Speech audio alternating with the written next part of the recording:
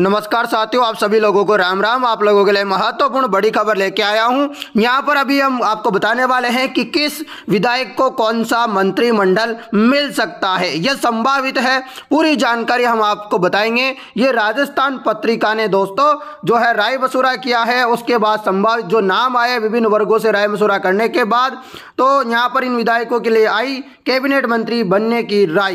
तो क्या क्या राय आई है, ये सारी जानकारी जानते हैं यहाँ पर। ये रहा आज की बड़ी अपडेट। अब जानिएगा यहाँ पर दोस्तों कल दोस्तों यहाँ पर शपथ लेंगे। कल दोस्तों अल्बर्ट हॉल के सामने शर्मा कल लेंगे शपथ। तो दोस्तों कल शपथ लिया जाएगा वहाँ पर सभी कुछ होगा। यानी कि समारोह सुबह साढ़े सवा ग्यारह बजे जो है अल्बर्ट हॉल में रामनिवास बाग में शुरू होगा। तो यहाँ पर देख सकते हो दोस्तों चौंकाने वाले नाम ले सक, हो सकते हैं। शामिल जयपुर से दिल्ली तक कवायद। जनता ने ने दी तीस सदस्यीय मंत्रिमंडल को लेकर अपनी राय। तो क्या क्या राय दी है दोस्तों? जानते हैं पूरी अपडेट। तो यहाँ पर होगा, दोस्तों, आप देख सकते हो, ये अल्बर्ट हॉल है। यहाँ पर पूरा मामला होने वाला है। और मुख्यमंत्री साहब तो आपने देख ही लिया होगा कौन है? भजन लाल शर्मा। जिनको क्या क्या मंत्रालय मिल सकता है? तो सांगानेर से मुख्यमंत्री है। इनको वित्त विभाग मिल सकता है, कार्मिक व डी पी आर मिल सकता है। परंतु यहाँ पर दिया कुमारी की बात करें तो यहाँ दिया कुमारी को मिल सकता है। विद्यानगर से जो है उप मुख्यमंत्री हैं सही, गृह विभाग इनको मिल सकता है। यानी कि जो सबसे बड़ा मंत्रालय होता है, गृह विभाग, वो मिल सकता है दिया कुमारी को। आगे बात करें, फिर बड़ा मंत्रालय एक और की बात करें तो वो किरोड़ी लाल मीणा के पास जा सकता है। जो कि सवाई माधोपुर से विधायक है और जिनको मुख्यमंत्री बनने के दावेदार थे, असली हक के दावेदार, क्योंकि इन्होंने ही केवल मेहनत की थी और सब तो केवल उसको खाने के लिए तैयार थे, जैसे लड्डू होता है तो लड्डू तो कोई और बनाता है और उसको छीन झपट्टी करके कोई दूसरा ले जाता है, उसको परोस दिया जाता है। तो इसी प्रकार से यहाँ पर मतलब मेहनत करने वाला कोई और और उसका फल लेने वाला कोई और है। परंतु हमारे डॉक्टर किरोड़ीलाल मीणा को यहाँ पर मंत्रालय मिल रहा है चिकित्सा स्वास्थ्य। यानी कि ये डॉक्टर साहब है किरोड़ीलाल जी तो इनको दोस्तों चिकित्सा स्वास्थ्य मंत्रालय मिल रहा है। उसके अलावा यहाँ पर देख सकते हो फूल सिंह मीणा फूल सिंह मीणा को यहाँ पर आप देख सकते हो, ये रहा फूल सिंह मीणा का नाम।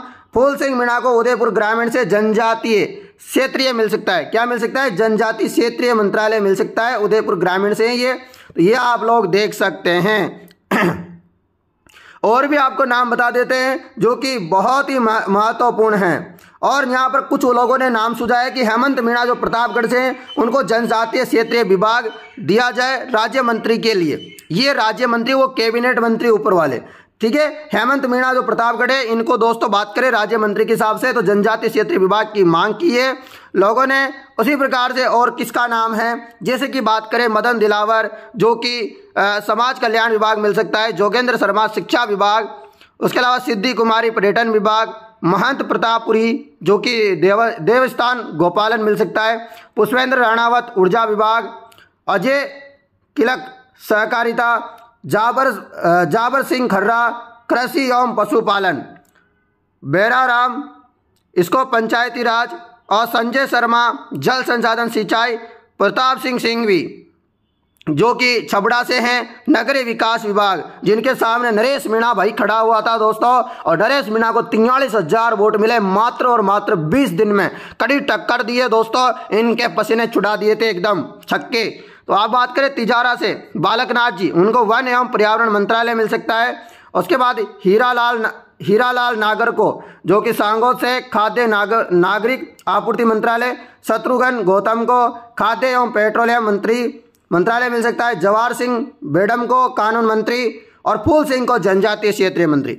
इस प्रकार से यह मांग हुई है और हम आपको बता दें कि वसुंधरा राज्य को किसी प्रकार की कोई मांग नहीं है और मुझे लगता है कि उनको किसी प्रकार का कोई मंत्रिमंडल वगैरह नहीं दिया जाएगा। और वह रहना भी पसंद नहीं करेगी। जब मुख्यमंत्री का पद ही नहीं मिला तो वह मंत्रिमंडल में रहना भी पसंद नहीं करेगी। क्योंकि हमारी महारानी जो है, एक महारानी है और दो बार की मुख्यमंत्री और मंत्रिमंडल में रह करके क्या करेगी? इसलिए अब उनकी सोच हो सकती है कि वह मंत्रिमंडल में भी नहीं रहे, वह एक आम विधायक की तरह ज़िंदगी जीना चाहेंगे। तो देख सकते हो यहाँ पर इस प्रकार से कैबिनेट मंत्री जो है, बनने वाले किरोड़ीलाल मीणा, चिकित्सा मंत्री और फूल सिंह मीणा आपके जनजातीय क्षेत्रीय मंत्री। तो इस प्रकार से ये नाम सामने आए हैं। वीडियो को फटाफट से शेयर कर दीजिए। मैंने सारे नाम आप लोगों को बता दिए हैं। और प्रेमचंद बेरवा, ये भी उप मुख्यमंत्री है, जिनको सार्वजनिक निर्माण विभाग मंत्रालय मिल जाएगा। तो दोस्तों, इस वक्त की बड़ी खबर है। फटाफट से वीडियो को शेयर कीजिए। कल शपथ ली जाएगी। चले, मिलते हैं आपसे नई अपडेट के साथ। तब तक हमारे साथ बने रहिए।